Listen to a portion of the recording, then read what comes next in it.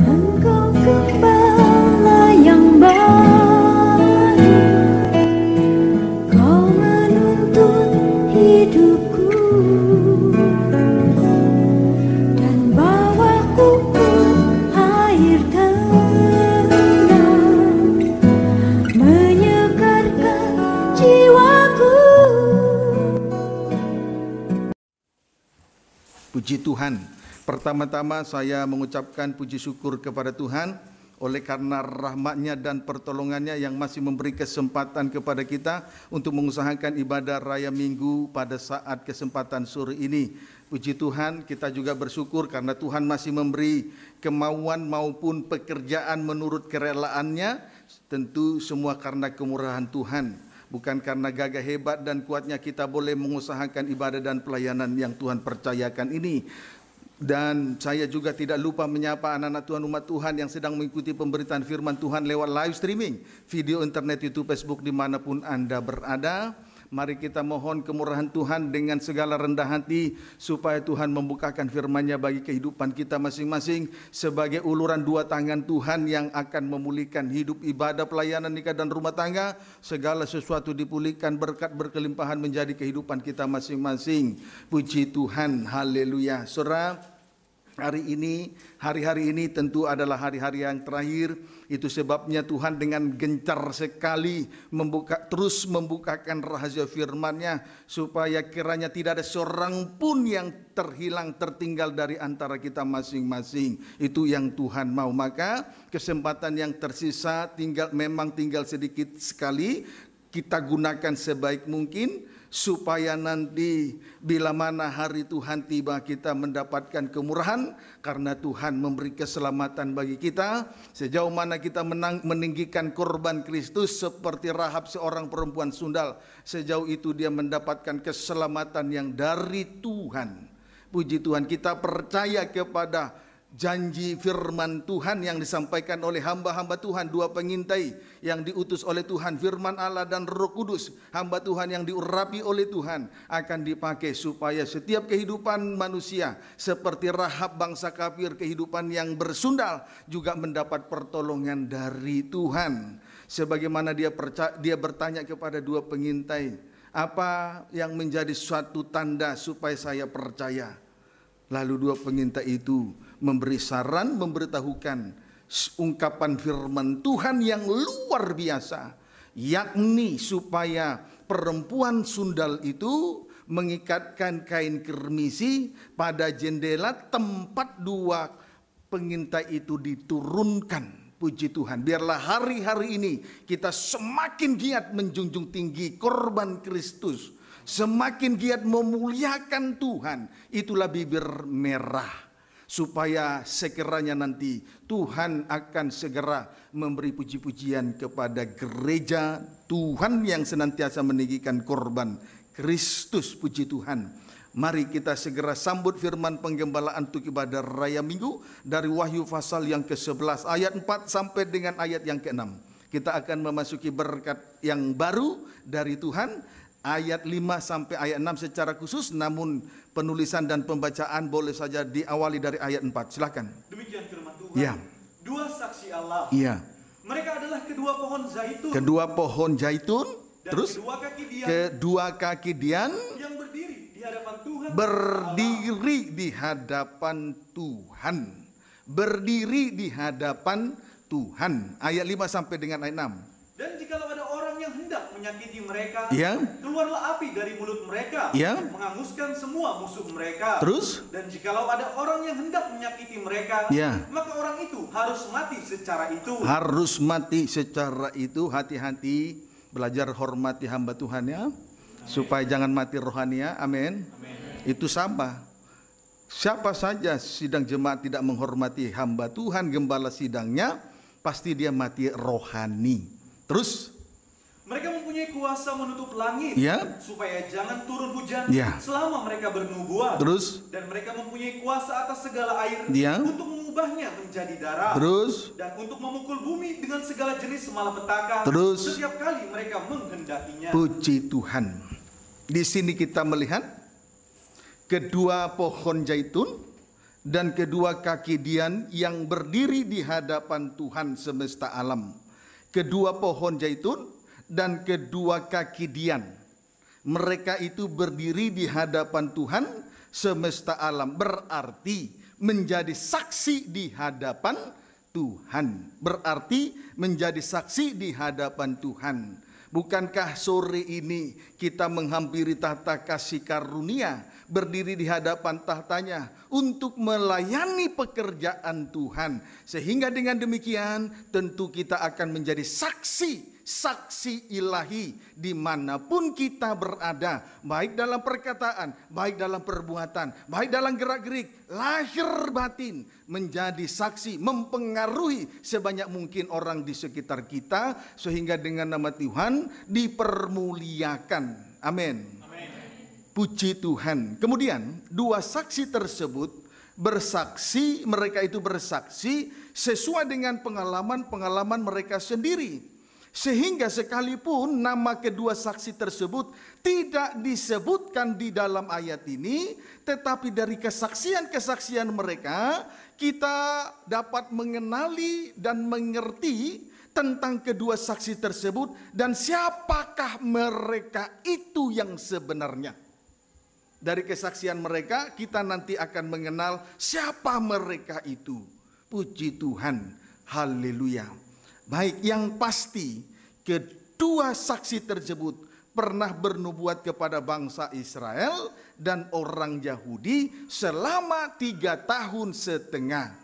Jadi dan apa yang diperbuat oleh kesaksian mereka selama tiga tahun setengah itu juga merupakan nubuatan yang harus digenapi pada akhirnya sesuai dengan boleh dibaca Wahyu pasal yang ke-11 ayat 3. Dan aku akan memberi tugas kepada dua saksiku Ya. supaya mereka bernubuat Ya. sambil berkabung Ya. 1260 Ya, hari tiga tahun setengah. Jadi kesaksian mereka itu merupakan nubuatan yang harus tergenapi di hari-hari menjelang kedatangan Tuhan. Dan hari-hari ini kedatangan Tuhan sudah tidak lama lagi. Sebab itu berhati-hati, bersungguh-sungguh, jangan bermain-main. Belajar untuk menghormati gembala sidang supaya tidak mengalami kematian rohani. Belajar menghormati pemimpin rumah Tuhan supaya tidak mengalami kematian rohani. Puji Tuhan kiranya dapat dipahami dengan baik. Selanjutnya, mari kita memeriksa bersama-sama penjelasan dari kedua bagian di atas tersebut. Maksudnya awal ayat 5 dan ayat 6. Diawali penjelasan dari bagian yang pertama, yakni pada ayat yang kelima. Ya, diawali dari pen, diawali penjelasan dari bagian yang pertama yakni pada ayat yang kelima. Yaitu keluar api dari mulut mereka untuk menghanguskan semua musuh mereka. Yakni keluarlah api dari mulut mereka menghangus untuk menghanguskan semua musuh mereka. Puji Tuhan haleluya mari kita lihat terlebih dahulu dari pihak Nabi Musa. Dari pihak Nabi Musa. Ulangan pasal 33. Ulangan 33 ayat sambil berdoa ya. Puji Tuhan. Ulangan 33 ayat 2 sampai ayat yang ketiga. Jangan sampai ada kita datang hanya untuk mencari pengertian tapi tidak rendah hati. Tapi kita harus dengar firman disertai dengan rendah hati supaya kekerasan hati itu terus di, terus menerus dikikis demi sedikit sampai nanti makin hari makin lemah lembut, makin hari makin rendah hati. Jangan kita berdoa engkau semakin besar, aku semakin kecil, tapi setiap perbuatan sehari-hari tidak mau menjadi kecil termasuk di dalam hal dengar firman Tuhan. Itu berbahaya sekali. Kemunafikan ini, saudaraku, itu dosa berbahaya. Sebab orang munafik sangat sukar dirubah oleh berubah di hadapan Tuhan. Kiranya dapat dipahami dengan baik. Amin, saudaraku. Dan itu merupakan ragi sehingga nanti membuat adonan itu menjadi kamir. Roti mengembang nampak bagian luar tapi dalamnya kosong kempes. Karena hatinya tidak berisi firman Tuhan kalau di, di ditekan akan kempes karena hatinya kosong, berongga kosong, tidak penuh dengan firman Tuhan. Itu hati-hati, hati-hati dengan ragi Farisi. Amin. Puji Tuhan. Keluar ulangan 33 ayat 2 sampai dengan ayat 3 boleh baca ayat 1 mulai. Demikian firman Tuhan. Perikop. Berkat Musa kepada suku Puji Tuhan. Baca. Inilah berkat yang diberikan Musa, abdi Allah itu, Ya. kepada orang Israel Duh. sebelum ia mati. kepada Israel dengan 12 sukunya. Ayat 2 sampai 3. Berkatalah ia, Ya. Tuhan datang dari Sinai Tuhan datang dari Sinai, Gunung Sinai, terus dan mereka dari Seir. terbit kepada mereka dari Seir, terus Ia tampak bersinar dari pegunungan Paran tampak bersinar dari pegunung, pegunungan Paran, terus dan datang dari tengah-tengah puluhan ribu orang yang kudus. puji Tuhan, Di terus sebelah kanannya Ya. tampak kepada mereka di sebelah kanan Tuhan tampak kepada mereka api yang menyala. Ayat 3. menyala. Sungguh, ia mengasihi umatnya. Ya. Semua orang diulangi, semua orangnya yang kudus di dalam tanganmu lah mereka. Di tangan di, ta- di dalam tanganmu lah mereka terus Pada kakimu lah mereka duduk ayo rendah hati terus menangkap sesuatu dari firman Puji Tuhan. Haleluya. Saudaraku, di sebelah kanan Tuhan tampak kepada Israel api yang menyala-nyala. Tampak kepada Israel api yang menyala-nyala.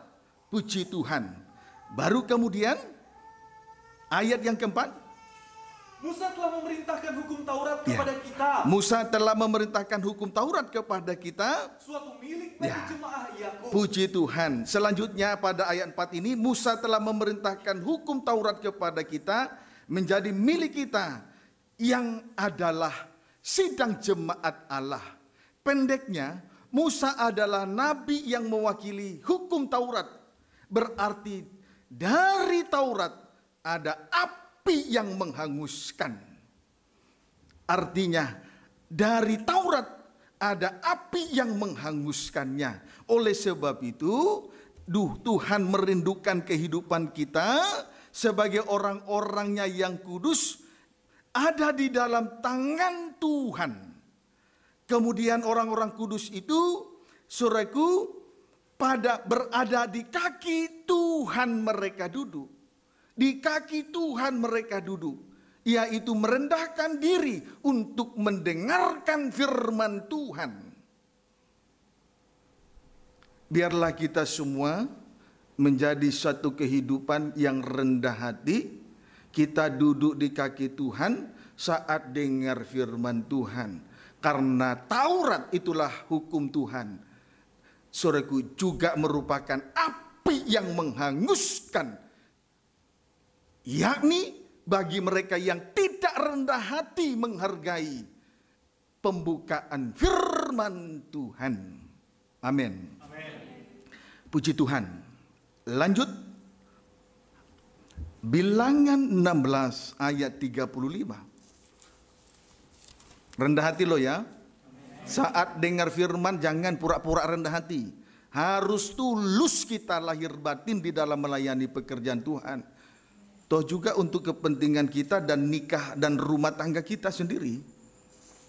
Bukan untuk orang lain. Itulah hebatnya Tuhan. Demikian rupa sangat memperhatikan kehidupan kita masing-masing. Puji Tuhan.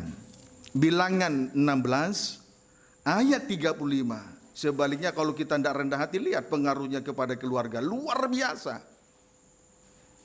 Apa kita mau biarkan keluarga kita hancur-hancuran oleh karena kelakuan kita yang tidak mau rendah hati? Puji Tuhan.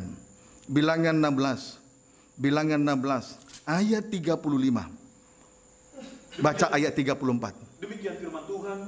Pemberontakan Korah, Datang Ya. dan Abiram. Puji Tuhan. Terus Dan semua orang Israel yang di sekeliling mereka Ya. berlarian mendengar teriak mereka. Ya. Sebab kata mereka, jangan-jangan bumi menelan kita juga. ya Korah dan keluarganya dan koruni-koruninya ditelan bumi ayat 35 perhatikan. Lagi keluarlah api Ya. berasal daripada Tuhan, Iya. lalu memakan habis ke 250 orang yang mempersembahkan hukuman itu. Puji Tuhan. Haleluya.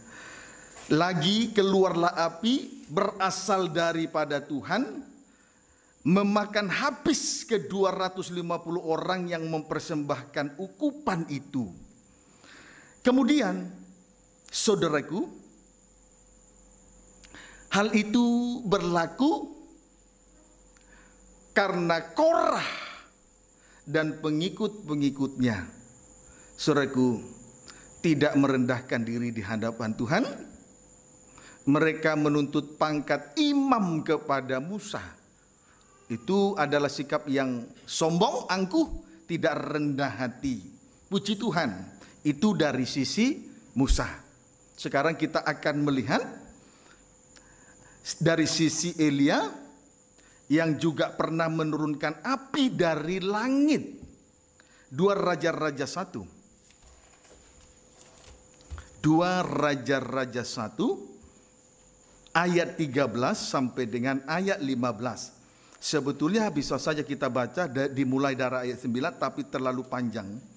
Terlalu panjang atau boleh ag agak cepat boleh? Agak cepat, cepat.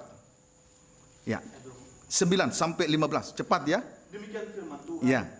Nabi Elia memberitahukan kematian Ahazia. Ya, Ahazia. Terus? Sesudah itu disuruh nyala kepada Elia, ya. orang perwira, ya. dengan kelima puluh anak buahnya. Ya. Orang itu naik menjumpai Elia ya. yang sedang duduk di atas puncak bukit. Terus? Berkatalah orang itu kepadanya, ya. Hai abdi Allah, ya. Raja bertitah, ya. turunlah. Terus? Tapi Elia menjawab, Turunlah.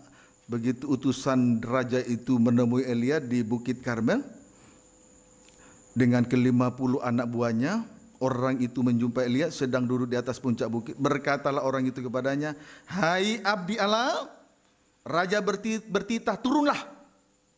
Bayangkan, seolah-olah raja lebih mulia daripada hamba Tuhan. Dan itu terbukti dari perkataannya. Eh turun, disuruh raja loh, turun. Seolah-olah raja lebih mulia dari seorang nabi Tuhan. Terus tetapi Elia menjawab ya, katanya kepada ya, perwira itu, ya, kalau benar aku abdi Allah, kalau kamu memang mengakui saya hamba Tuhan, terus biarlah turun ah, api dari langit. Karena kamu sombong angku, biarlah turun api dari langit terus memakan kau habis ya. 50 anak buahmu. Terus maka turunlah api dari ya. langit memakan dia Tuhan. habis dengan ke-50 anak buahnya. Ya, episode yang pertama api turun dari langit membunuh utusan raja seorang perwira dan 50 anak buahnya. Episode yang kedua, 11 sampai 12. Kemudian raja menyuruh pula kepadanya ya. seorang perwira yang lain. Ya, yang kedua, terus dengan ke-50 anak buahnya. Iya. Lalu orang itu berkata kepada Elia, Iya. "Hai abdi Allah." Ya, sama, hampir sama. Cuman lebih lembut dikit. Hai abdi Allah, terus Beginilah tita ah, raja. Kalau tadi tita raja, sekarang tambah lembut dikit, tapi masih belum rendah hati. Beginilah titah raja terus. Segeralah turun. Kalau tadi turunlah. Terus? Tetapi Elia menjawab Ya, ya. Kalau benar aku abdi Allah. Rendah hati. Amin. Kalau saudara mengakui pemimpin rumah Tuhan, rendah hati. Amin. Puji Tuhan. Rendah hati. Kalau saudara mengakui seorang gembala sidang sebagai pemimpin Tuhan, pemimpin rumah Tuhan sebagai hamba Tuhan, rendah hati. Jangan buat ukuran duniawi di dalam hal yang rohani. Lihat orang kaya di dunia memandang hamba Tuhan rendah. Mengapa? Karena ukurannya uang. Termasuk yang kedudukannya tinggi. Kiranya dapat dipahami dengan baik. Hati-hati. Juga episode yang kedua sama dengan episode yang pertama. Turun api dari langit menghanguskan perwira yang kedua dan 50 anak buahnya. Sekaligus. Puji Tuhan. Barulah kita lihat episode yang ketiga. Ayat 13 sampai 15. Kemudian raja menyuruh pula seorang Ya. perwira yang ketiga Iya. dengan ke-50 anak buahnya. Iya. Lalu naiklah perwira yang ketiga itu Iya. dan sesudah sampai Nah, perhatikan baik-baik. Terus berlututlah ia di depan Elia. ini yang Tuhan mau. Ayo belajar rendah hati ya. Amin. Apalagi yang sudah melayani Tuhan. Bukan persembahanmu yang banyak itu yang Tuhan lihat, tapi rendah hati kita masing-masing di dalam hal melayani Tuhan, menghadap tahta kasih karunia Tuhan. Bukan kepinteran, bukan uang. Puji Tuhan. Itu sebabnya dari tadi, di atas tadi saya sudah sampaikan, jangan keras hati. Karena kekerasan hati seseorang merugikan satu keluarga. Dan mata saya melihat, termasuk mata batin saya melihat. Cepat-cepat rendah hati ya. Cepat-cepat rendah hati ya. Puji Tuhan. Terus baca. Lalu berlututlah ia di depan Elia Ya. serta memohon belas kasihan Ah, kepadanya. Itu yang Tuhan mau. Memohon belas kasih Tuhan. Terus. Katanya, Ya. Ya abdi Allah, Ya abdi Allah. Terus. biarlah kiranya nyawaku dan nyawa kelima puluh orang hamba-hambamu ini Iya. berharga di matamu. Puji Tuhan. Terus. Bukankah api sudah turun Nah, dari langit dia mengakui kekuasaan ilahi. Terus. memakan habis kedua perwira yang dahulu Ya. dengan kelima puluh anak buah Ayo mereka? belajar mengang- mengakui kekuasaan ilahi. Amin. Terus. Tetapi sekarang biarlah nyawaku berharga di matamu. Ayat 15. Maka berfirmanlah malaikat Tuhan kepada Iya. Elia, Terus. turunlah bersama-sama dia. Iya. Terus. Janganlah takut kepadanya. Iya. Lalu bangunlah Elia dan turun bersama-sama dia Iya. menghadap raja. Puji Tuhan. Haleluya. Jadi saudaraku, kesimpulannya api turun dari langit memakan habis perwira yang pertama dengan 50 anak buahnya. Demikian juga memakan habis perwira yang kedua dengan 50 anak buah mereka. Puji Tuhan. Saudaraku, itu tanda-tanda yang diadakan oleh Nabi Musa dan Nabi Elia. Mereka berkuasa menurunkan api dari langit untuk menghanguskan mereka yang tidak rendah hati. Puji Tuhan, kiranya dapat dipahami dengan baik. Sejenak kita membaca, kita kembali membaca Wahyu 11 ayat yang kelima. Wahyu 11 ayat yang kelima. Silakan. Demikian firman Tuhan. Ya, Dan jikalau ada orang yang hendak menyakiti mereka, ya menyakiti kedua pohon zaitun, kedua kaki dian, dua saksi yang bertugas di hadapan Tuhan. Terus keluarlah api dari mulut mereka. keluarlah api dari mulut mereka. Hanguskan semua musuh mereka. Puji Tuhan, itu sudah terjadi. Dan itu sudah dinyatakan oleh Tuhan dengan kekuasaan ilahi sebagai kesaksian dari kedua pohon zaitun dan kedua kaki dian. Itulah Musa dan Elia. Amin saudaraku. Puji Tuhan. Tapi tidak berhenti sampai di situ. Dan terus Dan jikalau ada orang yang hendak menyakiti mereka, Ya. maka orang itu harus mati secara Ya. itu. Dan jikalau ada orang yang menyakiti mereka, maka mereka akan mati. Maka mereka akan mati. Maka orang itu harus mati secara itu juga. Puji Tuhan. Haleluya. Kita harus belajar untuk mengakui kekuasaan kekuasaan ilahi yang dinyatakan oleh Tuhan lewat pelayanan dengan perantaraan seorang hamba Tuhan yang betul-betul bertanggung jawab di dalam melayani pekerjaan Tuhan. Kiranya dapat dipahami dengan baik. Puji Tuhan. Pendeknya, api yang menghanguskan itu berlaku atas mereka yang berlaku sombong dan tinggi hati.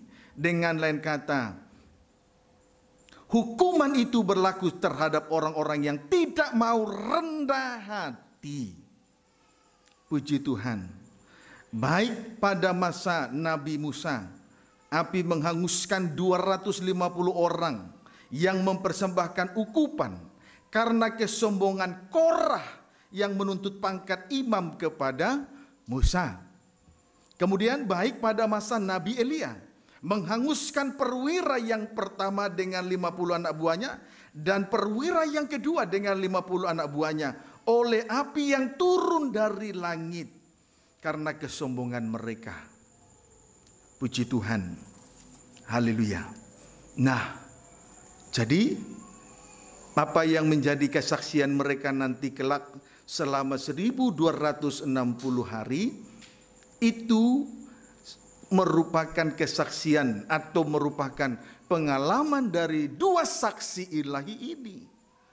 Maka Tuhan mempercayakan mereka, menugaskan mereka untuk bersaksi sesuai dengan pengalaman-pengalaman yang terjadi di dalam kehidupan mereka. Tuhan tidak mungkin mempercayakan suatu tugas yang mulia kalau seorang imam, seorang pelayan Tuhan belum mempunyai pengalaman-pengalaman, belum mempunyai saksi di hadapan Tuhan untuk menyaksikan kemurahan Tuhan. Itu sesuatu yang tidak mungkin. Kalau seorang pelayan Tuhan turun dari pelayanannya sekarang, itu bukan karena saya menurunkan dia. Karena Tuhan tidak percayakan dia untuk melayani pekerjaan Tuhan. Karena dia tidak punya kesaksian untuk melayani Tuhan.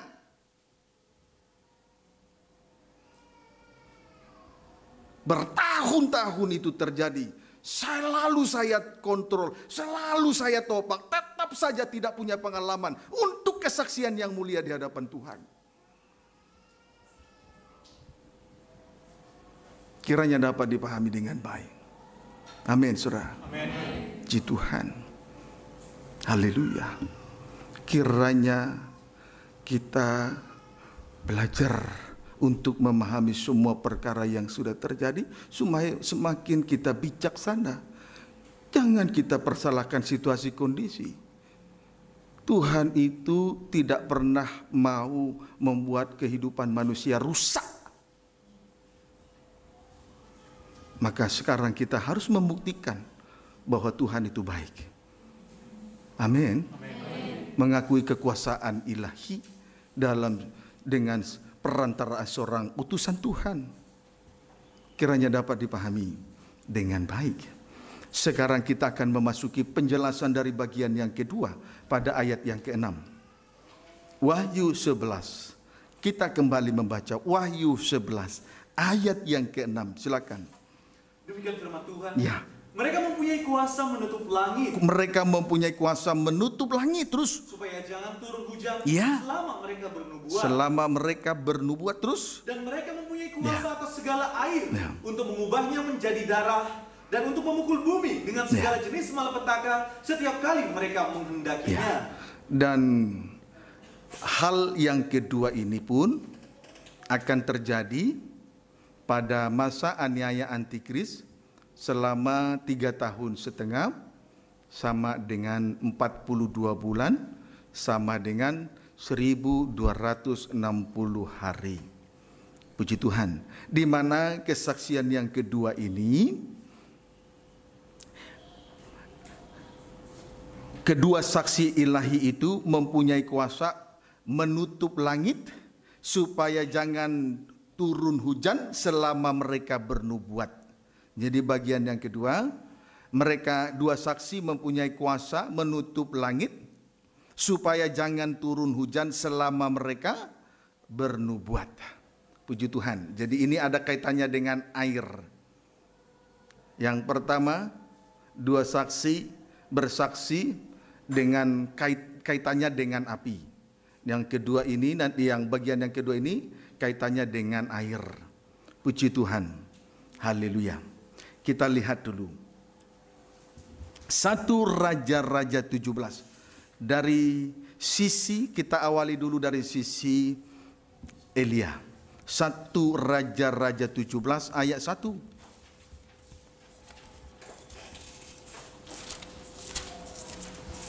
Satu Raja-Raja 17 ayat yang pertama. Baca. Demikian firman Tuhan. Iya. Elia di tepi sungai Kerit. Ya, Elia di tepi sungai Kerit.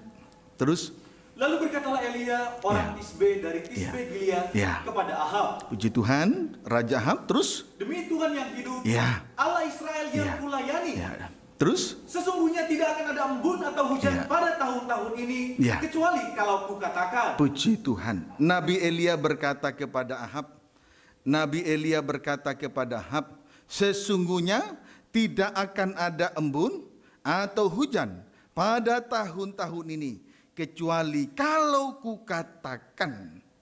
Jadi jelas Nabi Elia ini pernah menutup langit supaya hujan jangan turun. Dan apabila hujan turun itu juga harus sesuai dengan perkataan Elia. Jadi berkuasa dalam hal menutup langit supaya jangan turun hujan, juga kembali berkuasa untuk menurunkan hujan. Puji Tuhan. Namun di ayat ini tidak disebut secara rinci berapa lama dia melakukan hal itu. Puji Tuhan. Kita lihat ayat pendukungnya di dalam Yakobus.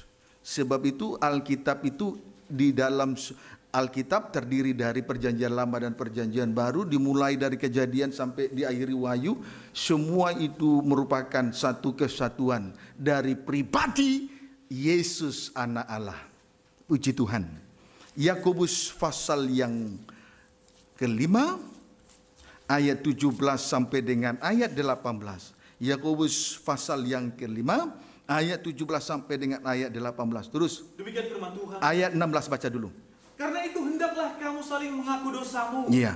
dan saling Ya. mendoakan. Puji Tuhan, saling mengaku dosa ya. Satu dengan yang lainnya. Amin, saudara. Amin. Jangan susah-susah mengaku dosa.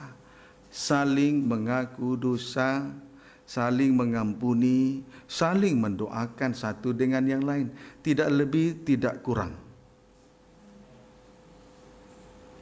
Urusan kita dengan sesama, ingat, saling mengaku dosa, berarti saling mengampuni, saling, apalagi satu lagi, mendoa, itu urusan kita dengan sesama. Tidak lebih, tidak kurang. Lebih dari itu nanti kesalahan terjadi. Amin, saudara. Amin. Tuhan. Terus, Dan saling mendoakan iya, supaya kamu sembuh. iya. Terus, Doa orang yang benar Iya. bila dengan yakin didoakan Iya. sangat besar Iya. kuasanya. s- tujuan dari dua hal yang di atas tadi supaya kita boleh mengalami kesembuhan dan pemulihan. Sembuh dari sakit penyakit, dosa penyakit kejahatan, sembuh dari sakit dosa penyakit kenajisan. Berarti dipulihkan. Puji Tuhan. Kemudian kita harus mengerti doa orang benar kuasanya besar. Puji Tuhan. Amin. Amin. Ayat 17 sampai 18. Elia adalah manusia biasa Nah. sama seperti kita. Ini kaitannya dengan doa. Terus Dan ia telah bersungguh-sungguh berdoa Iya. supaya hujan jangan turun. supaya hujan jangan turun terus. Dan hujan pun tidak turun Iya. di bumi selama tiga tahun dan enam bulan. Iya. Puji Tuhan. Haleluya. Perhatikan baik-baik. Saudaraku, Nabi Elia berdoa dengan sungguh-sungguh. Berdoa dengan segala keyakinannya. Supaya jangan turun hujan selama tiga tahun setengah. Puji Tuhan. Haleluya. Dan ayat 18. Lalu ia berdoa pula Iya. dan langit menurunkan hujan Iya. dan bumi pun Iya. mengeluarkan buahnya. Ya, dan ia berdoa pula dan langit menurunkan hujan dan bumi mengeluarkan buahnya. Puji Tuhan. Haleluya. Jadi saudara, Elia melakukan hal itu. Elia menutup langit supaya jangan turun hujan lamanya sel- sel- selama tiga tahun setengah. Jadi semuanya tergantung perkataannya. Tapi ingat, doa orang benar kuasanya besar. Dari mana tanda kita melihat bahwa dia adalah seorang yang benar? Saling mengampuni, mengaku dosa, dan saling mendoakan. Puji Tuhan, kiranya dapat dipahami dengan baik. Amin, saudara. Puji Tuhan. Jadi betul-betul dia bernubuat kepada bangsa Israel dan bang, orang Yahudi selama tiga, tiga tahun setengah. Dan pengalaman itu rupanya tergenapi.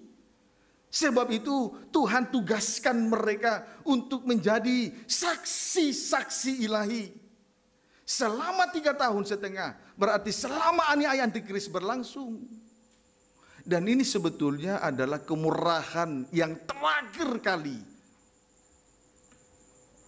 Sampai pada masa aniaya antikris, Tuhan masih utus dua saksinya yang luar biasa itu untuk menjadi saksi-saksi di tengah dunia ini. Di antara di tengah-tengah dunia yang bengkok hati ini. Puji Tuhan, kiranya dapat dipahami dengan baik. Nah, kemudian sejenak kita kembali membaca Wahyu 11 ayat 6 untuk melihat hal yang senada yang juga pernah dilakukan oleh Nabi Musa. Kita lihat dulu Wahyu pasal 11 ayat 6 baca kembali. Demikian firman Tuhan. Ya. Mereka mempunyai kuasa menutup langit Ya. supaya jangan turun hujan selama mereka bernubuat. Ya, mereka ya, mereka mempunyai kuasa menutup langit. Jadi bukan hanya Elia berarti tapi juga Musa mempunyai kuasa terus Dan mereka mempunyai kuasa Ya. segala air Ya. untuk mengubahnya menjadi darah. iya terus Dan untuk memukul bumi dengan segala jenis malapetaka Iya. setiap kali mereka menghendakinya. Ya, puji Tuhan. Jadi mereka mempunyai kuasa atas segala air untuk mengubahnya menjadi darah dan untuk memukul bumi dengan segala jenis malapetaka setiap setiap kali mereka menghendakinya. Puji Tuhan. Mari kita lihat untuk membuktikan hal ini, mari kita melihat keluaran pasal yang ketujuh. Keluaran pasal yang ketujuh ayat 19 sampai 20. Keluaran pasal yang ketujuh ayat 19 sampai 20 baca. Demikian firman Tuhan. Ya, boleh baca ayat 17 mulai. Tulah pertama air menjadi darah. Ya, Sebab itu beginilah firman Tuhan. Iya. Dari hal yang berikut akan kau ketahui Iya. bahwa akulah Tuhan. puji Tuhan. Terus Lihat, dengan tongkat yang di tanganku ini Iya. akan kupukul air yang di sungai Nil. Iya. Dan air itu akan berubah menjadi darah. sampai 19 terus Dan ikan yang di dalam sampai sungai Nil- 20. Terus? Dan ikan yang di dalam sungai Nil akan mati. Iya. Sehingga sungai Nil akan berbau busuk. Iya. Maka orang Mesir akan segan meminum air dari sungai Nil ini. Puji Tuhan. Bayangkan kalau hal itu nanti terjadi, air yang tawar, yang jernih itu, air mineral itu berubah menjadi darah. Maka korbannya ikan-ikan mati di sungai Nil. Jiwa-jiwa akan binasa. Puji Tuhan. Haleluya. Terus? Tuhan berfirman kepada Musa, Ya, katakanlah kepada Harun, ya. ambillah tongkatmu, Iya. ulurkanlah tanganmu ke atas segala air orang Mesir, Terus? ke atas sungai, selokan, Selokan. Pokoknya seisi air tawar. Terus? Dan ke atas segala kumpulan air Iya. yang ada pada mereka, Terus? supaya semuanya menjadi darah. Iya, terus. Dan akan ada darah di seluruh tanah Mesir, Terus? bahkan dalam wadah kayu dan wadah batu. Ayat 20. Demikianlah Musa dan Harun berbuat seperti yang difirmankan Tuhan. Dengar-dengaran sebagai seorang pelayan Tuhan. Terus? Diangkatnya tongkat Iya. dan dipukulkannya kepada air Iya. yang di sungai Nil. Terus? Di depan mata Fir'aun Iya. dan pegawai-pegawainya. Iya. Maka seluruh air di sungai Nil berubah menjadi darah. Puji Tuhan. Haleluya. Saudaraku, Musa memukul air dengan tongkatnya. Ya. Atau diangkatnya tongkat itu dan dipukulnya, diangkatnya tongkat itu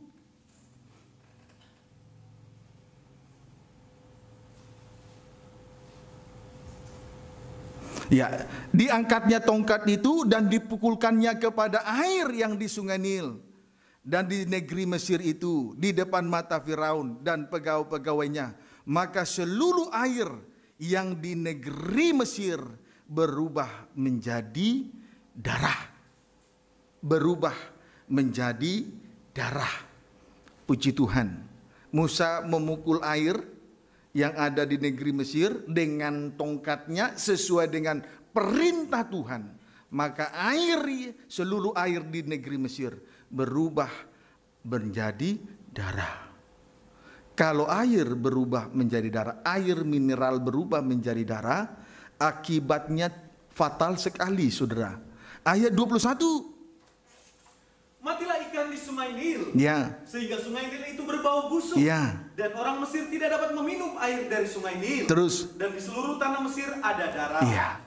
Matilah ikan di sungai Nil. Ikan itu merupakan gambaran dan bayangan dari jiwa-jiwa. Puji Tuhan. Sehingga selanjutnya sungai Nil itu berbau busuk. Sungai Nil itu berbau busuk. Puji Tuhan. Kiranya dapat dipahami dengan baik. Haleluya. Ayat 22 sampai dengan ayat 23. Tetapi para ahli Mesir membuat yang demikian juga Ya. dengan ilmu-ilmu mantra mereka. Ya. Sehingga hati Fir'aun berkeras Ya. dan tidak mau mendengarkan mereka keduanya Ya. seperti yang telah difirmankan Tuhan. Ya. Puji Tuhan. Firaun ini keras hati. Ia tidak mau mendengarkan apa yang difirmankan oleh Tuhan dengan perantaran Musa. Sehingga dia memerintahkan para nujun, para menteranya untuk mengadakan hal yang senada. Itu tandanya bahwa Firaun ini keras hati. Tidak sedikit orang Kristen keras hati. Sudah mendapatkan ungkapan-ungkapan firman Tuhan. Yaitu rahasia firman yang dibukakan. Tetap saja tidak mau berubah keras hati.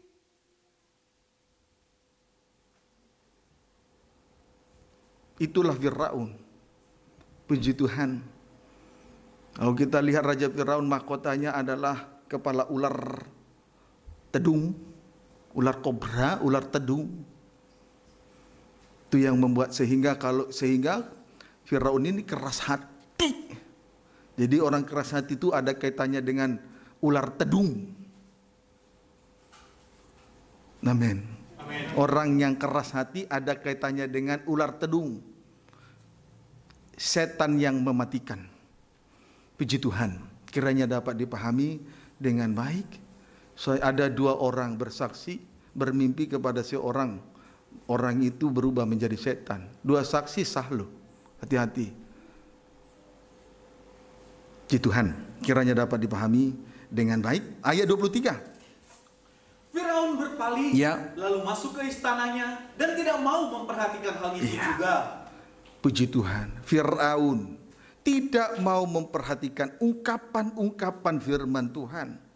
Tidak menghargai pembukaan rahasia firman Tuhan. Karena Firaun ini mengeraskan hatinya. Jadi keras hati itu ada kaitannya dengan setan, iblis setan, roh jahat dan roh najis yang mematikan sekali. Keranya dapat dipahami dengan baik. Jangan anggap enteng soal kekerasan hati lo ya, saudara. Jangan anggap enteng. Jangan anggap sepele. Ji Tuhan, kiranya dapat dipahami dengan baik. Jadi saudara, Musa melakukan hal itu kar oleh karena kekerasan hati Fir'aun. Puji Tuhan. Tadi tongkat Musa tadi meng- menggunakan Musa memukul air dengan tongkatnya. Maka seluruh air di negeri Mesir berubah menjadi darah. Puji Tuhan. Saudaraku, tongkat Musa itu menunjuk kepada salib Kristus. Supaya kita hidup di dalam kasih karunia oleh anugerahnya supaya kita hidup di dalam kasih karunia yang dianugerahkan oleh Tuhan kepada kita masing-masing. Tetapi oleh karena kekerasan hati manusia, kemurahan akan berubah menjadi kutukan. Bukankah salib Kristus, salib di Juljuta merupakan kasih karunia yang dianugerahkan oleh Tuhan bagi kita? Tetapi selama kita hidup di bumi ini tidak mau menghargai kemurahan demi kemurahan yang Tuhan nyatakan, maka kemurahan akan berubah menjadi kutukan.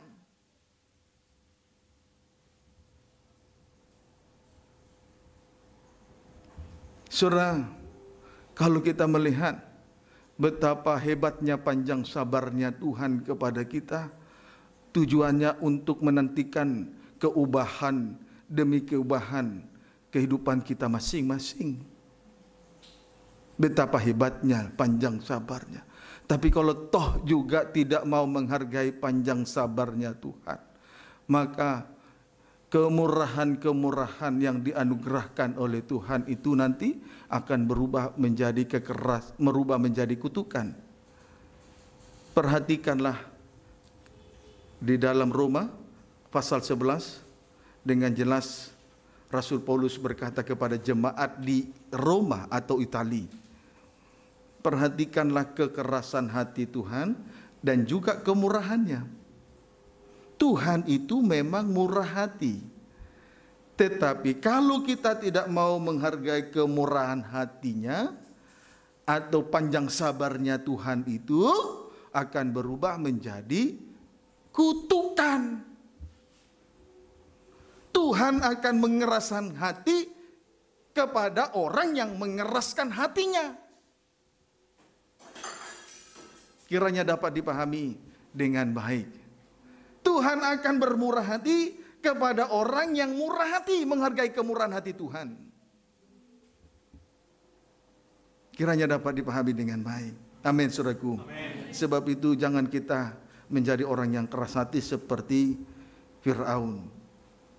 Sebenarnya Tuhan sudah cukup lama menunggu keubahan setiap manusia dengan panjang sabarnya, betul? Tetapi kalau toh juga tidak mau berubah dan tidak mau lagi berdamai dengan Allah, manusia akan mengalami kutukan upah bagi kekerasan hatinya. Itu upah. Dan setiap orang nanti pada hari Tuhan setiap orang akan mendapat upahnya. Kiranya dapat dipahami dengan baik. Demikian halnya dengan Nabi Elia, ia menutup langit supaya jangan turun hujan. Hal ini berlaku oleh karena kekerasan hati Ahab, Raja Ahab. Puji Tuhan. Mari segera satu Raja-Raja 18.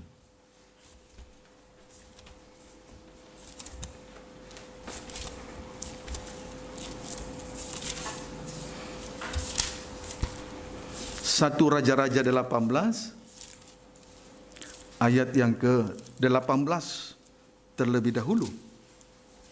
Demikian Baca. Tuhan. Ya, Elia boleh. bertemu dengan Ahab. Boleh 17. Segera sesudah Ahab melihat Elia, ia berkata kepadanya, Ahab berkata kepada Nabi Elia, terus Engkaukah itu yang mencelakakan Ya. Israel? Puji Tuhan.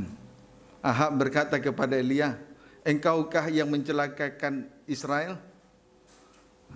Ahab menuduh Elia mencelakakan bangsa Israel. Tidak sedikit orang Kristen menuduh gembalanya mencelakakan dirinya, padahal dirinya yang tidak mau berubah. Dapat dipahami? Amin. Tidak sedikit orang Kristen menuduh gembalanya, pemimpin rumah Tuhan, menunjuk, menuduh bahwa di gembala sidang ini yang mencelakakan sidang jemaat. Padahal dia yang tidak mau berubah. Banyak orang Kristen seperti itu. Saya berdoa supaya hal yang sama tidak berlaku di tengah-tengah penggembalaan ini. Karena doa orang benar kuasanya besar. Kalau diimani. Iman tanpa perbuatan ya tidak ada artinya. Kiranya dapat dipahami dengan baik. Tetapi kita lihat 18. Jawab Elia kepadanya, Ya, Bukan aku yang mencelakakan Israel. bukan aku jawab Elia kepada Ahab, bukan aku yang mencelakakan Israel. Terus Melainkan kau ini dan kaum keluarga. iya kamu dan istrimu Isabel. Yang mencelakakan bangsa Israel bukan hamba Tuhan, tapi kekerasan hati Ahab dan istrinya Isabel. Amin. Amin. Puji Tuhan. Terus, Sebab kamu telah meninggalkan perintah-perintah Tuhan. Iya. Dan kau ini telah mengikuti para Baal. iya, apa kekerasan Ahab dan bangsa Israel yang sudah dicelakakan itu? Bangsa Israel, Ahab dan bangsa Israel meninggal, meninggalkan perintah-perintah Tuhan dan sujud dan mengikuti para Baal dan sujud kepadanya. Puji Tuhan. Saudara, perintah Tuhan itu adalah dalam kitab Mazmur, perintah Tuhan itu sebetulnya memberi damai sejahtera. Perintah Tuhan itu membuat suatu supaya kita boleh mengalami suatu kebahagiaan. Andai saja kita mengikuti aturan-aturan yang turun dari surga dari Allah, kita patuhi itu semua pasti kita berbahagia. Sama halnya dengan orang yang berkendaraan di jalan raya, tidak mematuhi aturan-aturan yang ada di tengah jalan. Di situ terjadi banyak kekacauan, kecelakaan, dan penderitaan. Air mata tidak bisa lagi dibendung. Jadi jangan kita memutar balik fakta. Kalau kita mengalami kesusahan hati, tentu itu karena pelanggaran-pelanggaran yang terjadi. Karena tidak mau lagi hidup menurut peraturan perintah-perintah Tuhan. Jangan kita putar balik.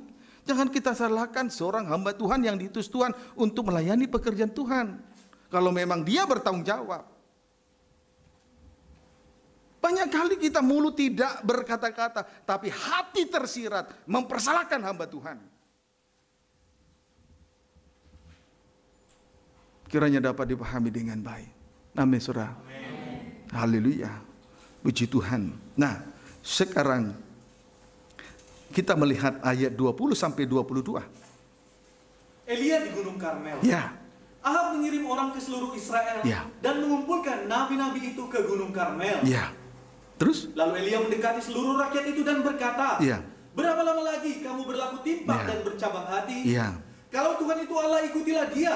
Dan kalau Baal, ikutilah dia. Ya. Tetapi rakyat itu tidak menjawabnya sepatah kata pun. Terus Lalu Elia berkata kepada rakyat itu, Iya. Hanya aku seorang diri yang tinggal hanya sebagai seorang nabi diri Tuhan." yang tinggal sebagai nabi Tuhan. Terus Padahal nabi-nabi Baal itu ada 450 orang banyaknya. puji Tuhan. Pada akhirnya bangsa Israel dan 450 nabi-nabi Baal berlaku timpang dan bercabang hati karena mereka telah meninggalkan perintah-perintah Tuhan. Berlaku timpang dan bercabang hati. Berlaku timpang berarti pendiriannya tidak kuat di dalam Tuhan.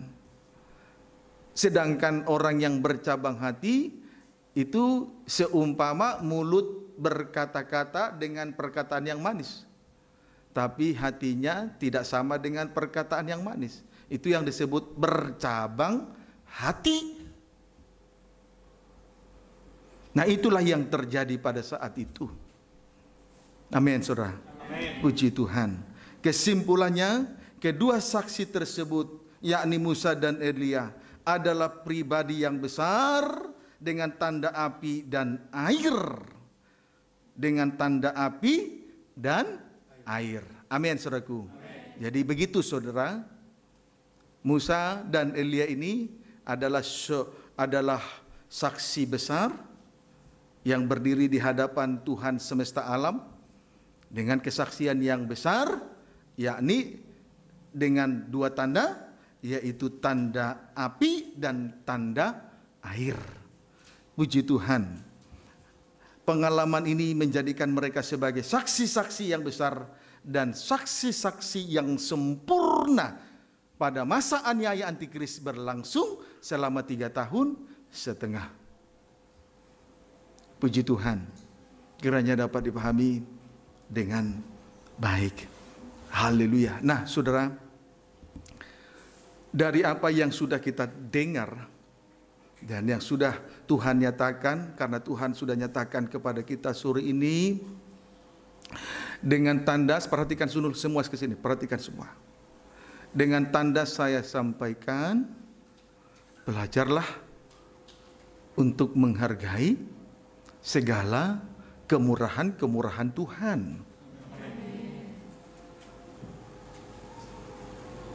Jangan mengabaikan firman Allah yang sudah pernah tertanam di dalam hati kita masing-masing. Hanya dengan demikianlah nanti kita boleh mendapat keselamatan yang kekal sebagai kemurahan yang Tuhan sudah sediakan.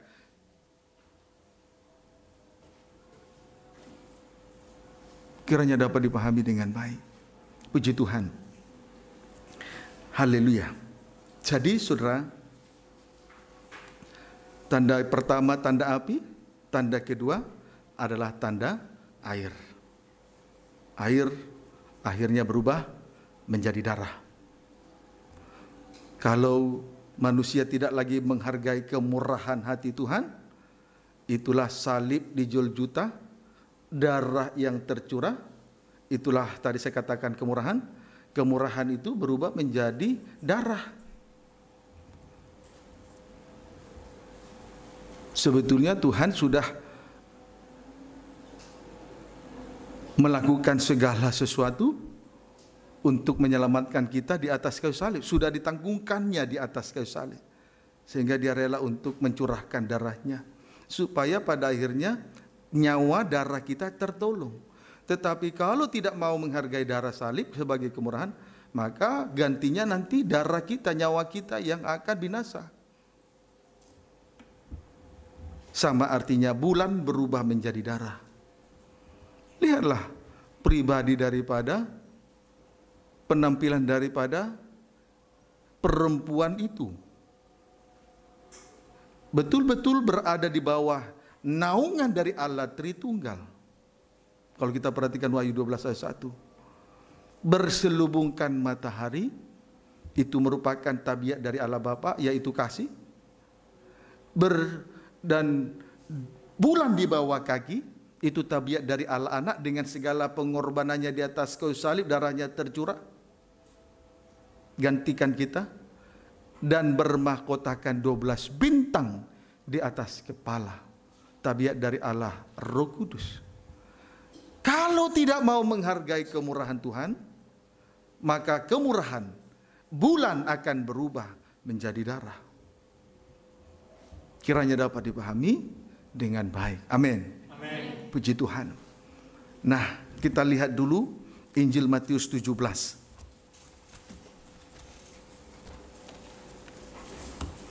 Sebagai ayat-ayat terakhir. Injil Matius 17. Sampai ayat 13 boleh dibaca cepat? Injil Matius 17 sebetulnya sih ayat ada sih ya. Sebetulnya ayat 8 sampai dengan ayat 13. Tetapi tidak salah lah. Ayat 1 dimulai. Demikian firman Tuhan. Ayat agak cepat. Yesus dimuliakan di atas gunung. Iya. Enam hari kemudian Yesus membawa Petrus, Yakobus, dan Yohanes saudaranya. Terus. Dan bersama-sama dengan mereka ia naik ke sebuah gunung yang tinggi. Iya. Di situ mereka sendiri saja. Ya Petrus, Yakobus, Yohanes naik di atas gunung yang sangat tinggi sekali. Mereka bertiga, tiga orang bersama dengan menemani Yesus terus. Lalu Yesus berubah rupa di depan mata mereka. Iya. Wajahnya bercahaya seperti matahari. Iya. Dan pakaiannya menjadi putih bersinar seperti terang. Terus Maka nampak kepada mereka Musa dan Elia Tuh. sedang berbicara dengan dia. Puji Tuhan. Jadi saudara, kalau memang kalau kita perhatikan mengapa sampai Elia, Musa dan Elia Tuhan utus untuk menjadi dua saksi yang besar itu karena mereka mempunyai pengalaman hidup yang besar. Dan pengalaman itu menjadi menjadi saksi kesaksian. Untuk selama tiga tahun setengah itulah masa aniaya antikris berlangsung. Dan di sini pun kita melihat ketika Yesus bersama dengan Petrus, Yakobus dan Yohanes di atas gunung yang sangat tinggi nampaklah kepada mereka Musa dan Elia. Puji Tuhan sedang berbicara dengan Yesus. Puji Tuhan. Jadi saudara semua yang akan terjadi dan juga yang akan digenapi supaya tergenapi terlebih dahulu Musa dan Elia ini diutus termasuk di dalam hal Yesus akan menanggung penderitaan di atas kayu salib.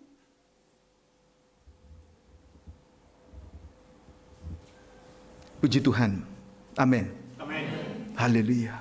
Jadi sebetulnya kesaksian hidup kita ini penting untuk orang lain supaya orang lain berada di dalam rencana Allah yang besar.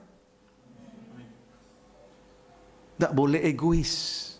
Tidak boleh hanya mementingkan diri sendiri. Ya, amin. Ayo baca ayat 4.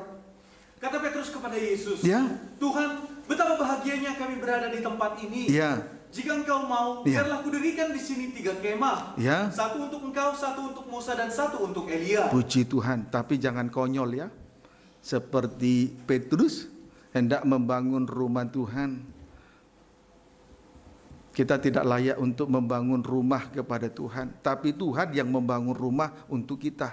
Amin. Amin. Terus Dan tiba-tiba sedang ia berkata-kata, Ya. turunlah awan yang terang Ya. menaungi mereka. Ya. Dan dari dalam awan itu terdengar suara yang Ya. berkata, Ya. inilah yang kukas inilah anak yang kukasihi, Iya. kepadanya aku berkenan, dengarkanlah dia. ayat 6. Mendengar itu tersungkurlah murid-muridnya dan mereka sangat ketakutan. Iya, terus Lalu Yesus datang kepada mereka dan menyentuh mereka sambil berkata, Iya. berdirilah, Iya. jangan takut. Terus Dan ketika mereka mengangkat kepala, Terus? mereka tidak melihat seorang pun kecuali Yesus seorang diri. iya. Terus Pada waktu mereka turun dari gunung itu, Iya. Yesus berpesan kepada mereka, Iya. Jangan kamu ceritakan penglihatan itu kepada seorang pun Iya. sebelum anak manusia dibangkitkan dari antara orang mati. Puji Tuhan.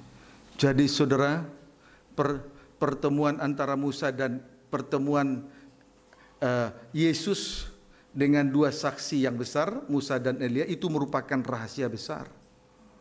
Itu tidak boleh diceritakan sebelum Yesus dibangkitkan. Puji Tuhan, itu tentu ada maksudnya kalau kita baca terus. Baca. Ayat Lalu- berapa sekarang? Lalu murid-muridnya ayat 10. Ya. Bertanya kepadanya, Ya. Kalau demikian, Iya. mengapa ahli-ahli Taurat berkata Iya. bahwa Elia harus datang dahulu? Eh, harus datang dahulu. Terus Jawab Yesus, Iya. memang Elia akan datang dan memulihkan segala sesuatu. Iya, memang Elia akan datang dan memulihkan segala sesuatu.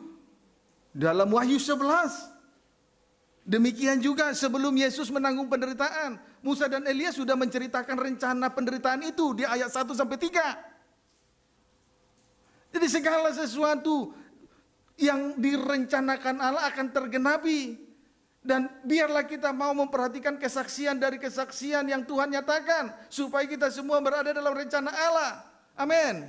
Sampai kita boleh mengalami pemulihan. Terus Dan aku berkata kepadamu, ayat 11 kita boleh dipulihkan oleh Tuhan. Terus dan aku berkata kepadamu, Ya.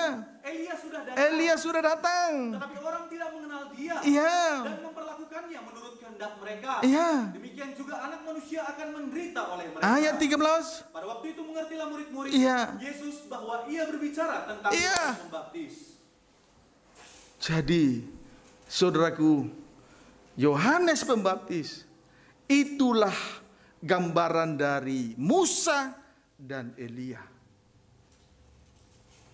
Biarlah kiranya air firman Allah senantiasa boleh membasuh setiap kehidupan kita ini.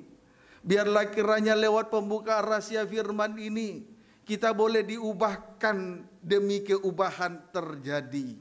Amin saudaraku. Puji Tuhan. Biarlah rahasia firman Tuhan yang nanti akan mengubahkan kehidupan kita ini. Tidak boleh kita mengandalkan Tuhan, mengandalkan kekuatan sendiri di dalam melayani pekerjaan Tuhan. Itu sebabnya Yesus berpesan kepada tiga pribadi itu, jangan engkau menceritakan semuanya ini sebelum aku bangkit. Yohanes Pembaptis itulah gambaran dari dua pribadi yang diutus oleh Tuhan, mendahului Tuhan. Air basuhan firman Allah biar senantiasa menyucikan kehidupan kita. Amin. Firman Allah terus membasuh setiap kehidupan kita masing-masing. Itu dulu mendahului kedatangan Tuhan. Sampai kita betul-betul mengalami keubahan itu. Itulah Musa dan Elia sudah mendahului. Apa yang dikerjakan Yohanes Pembaptis sudah mendahului. Pembukaan firman sudah mendahului supaya kita boleh mengalami keubahan. Jangan kita tidak menghargai pembukaan firman. Biar kita boleh mengalami air basuhan supaya kita semakin hari kita disucikan oleh Tuhan. Sampai segambar serupa dengan Dia. Kiranya dapat dipahami dengan baik. Ayat terakhir, Injil Matius 11. Ayat 10 sampai 11. Demikian firman Tuhan. Ya? Yesus dan Yohanes Ya. Pembaptis. ya. Karena tentang dia ada tertulis. Tentang Nabi Yohanes, nabi yang terakhir. Terus Lihatlah, aku menyuruh utusanku mendahului Ya. engkau. Ia akan mempersiapkan jalanmu di hadapanmu. pembukaan rahasia firman mendahului Tuhan. Pembukaan rahasia firman akan mempersiapkan jalan bagi Tuhan di hadapan Tuhan. Amin, Saudara. Amin. Ayat 11. Aku berkata kepadamu, Iya. sesungguhnya di antara mereka yang dilahirkan oleh perempuan Iya. tidak pernah tampil seorang yang lebih besar daripada Yohanes Pembaptis. Iya. Namun yang terkecil dalam kerajaan sorga lebih besar daripadanya. Puji Tuhan. Yesus sendiri mengakui sesungguhnya di antara mereka yang dilahirkan oleh perempuan tidak pernah tampil seorang yang lebih besar dari Yohanes Pembaptis. Menunjukkan bahwa Musa dan Elia adalah seorang yang rendah hati. Barang siapa barang siapa merendahkan dirinya akan ditinggikan oleh Tuhan. Jadi kita tidak perlu lagi bingung mengapa Musa dan Elia diutus oleh Tuhan berdiri di hadapan Tuhan alam semesta alam untuk menjadi kesaksian yang besar, kesaksian yang sempurna. Karena kedua hamba Tuhan ini adalah hamba Tuhan yang besar, berjiwa besar. Mereka itu adalah hamba Tuhan, betul-betul hamba Tuhan yang lemah lembut dan rendah hati. Itu sebabnya Tuhan meninggikan kehidupan mereka, membesarkan mereka. Kalau kita semakin kecil, Tuhan semakin besar. Kita semakin kecil, Tuhan semakin besar. Kalau kita semakin rendah, Tuhan akan semakin ditinggikan dalam setiap kehidupan kita. Dalam hidup, dalam ibadah, dalam pelayanan, nikah dan rumah tangga. Di atas segalanya nama Tuhan dipermuliakan. Semoga Tuhan melawan, memulihkan setiap kehidupan kita menjelang kedatangan Tuhan sudah tidak lama lagi. Tuhan memberkati kita semua.